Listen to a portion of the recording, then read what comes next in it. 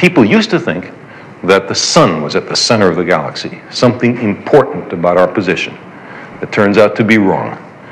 We live in the outskirts. The globular clusters are centered around the marvelous middle of the Milky Way galaxy. And then it turned out that this isn't the only galaxy. We live in this one, but there are many others. And as this picture reminds us, there are many different kinds of galaxies, of which ours might be just this one. There are, in fact, a hundred billion other galaxies, each of which contains something like a hundred billion stars. Think of how many stars and planets and kinds of life there may be in this vast and awesome universe. As long as there have been humans, we have searched for our place in the cosmos. Where are we? Who are we?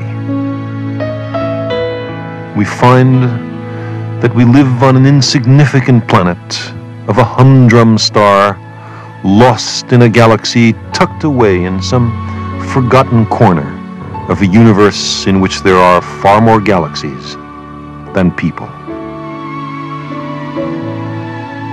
We make our world significant by the courage of our questions and by the depth of our answers.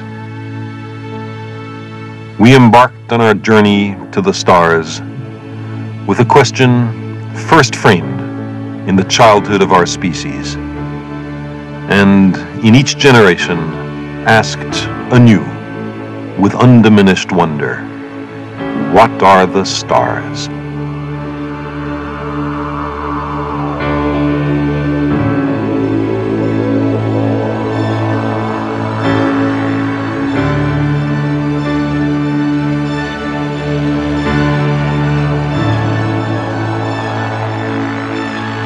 Exploration is in our nature.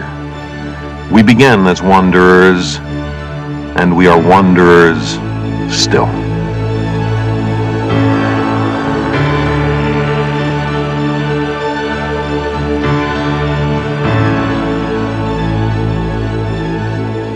We have lingered long enough on the shores of the cosmic ocean. We are ready at last to set sail for the stars.